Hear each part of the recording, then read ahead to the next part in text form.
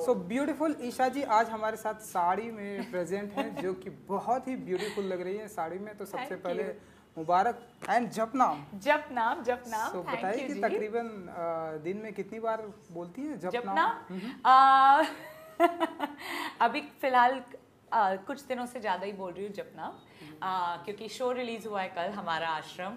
And sari का जो आप लोग देख रहे हैं थैंक्स टू आश्रम कि यू नो एक ऐसा शो मुझे करने को मिला जहाँ जन्नत के बाद कोई लुक नहीं मिला था ऐसा तो I got to at least play with it and थोड़ा कुछ अलग दिखाने को मिला।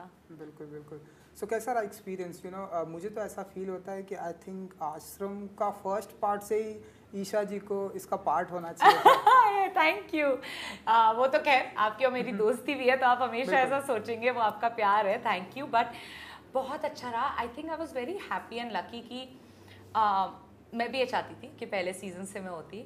मगर ये भी खुशकिस्मती है कि देखिए पहले दो सीज़न जब आए भी किसी को पता भी नहीं था कि आए हैं आश्रम।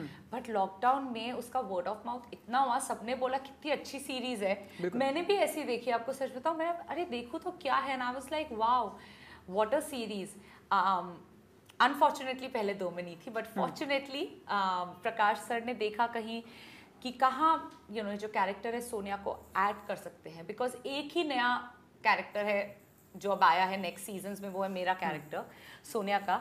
सो so, आज